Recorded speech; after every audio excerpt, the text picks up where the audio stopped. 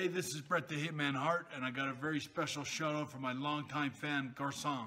You are the best there is, the best there was, and the best ever will be. Hello, champions! It's time to enhance a character, and it's gonna be Shawn Michaels DX. The reason I'm doing Shawn and not a character like Doink is that I can never use Doink during a feud, since I always have Woods or Steel on different characters.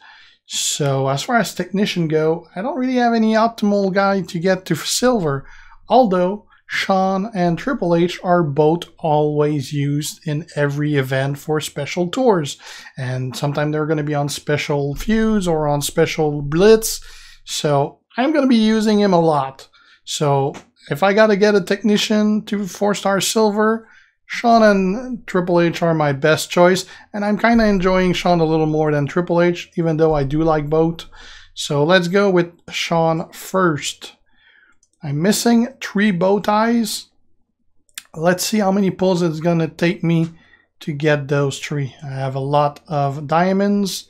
Let's see. First. Nope. Let me just switch the sound at the same time. Okay, so we didn't get it from the first, second. Nope. Third. There you go. Number four. Nope. Number five. Nope. Number six. Yes. Number seven.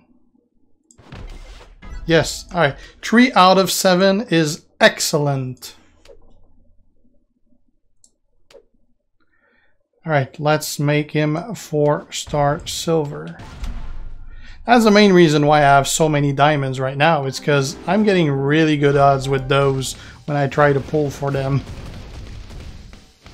Like the worst I'm getting is like one out of three or one out of four. All right, Shawn Michaels, four star silver. Can't really afford to put the levels on him.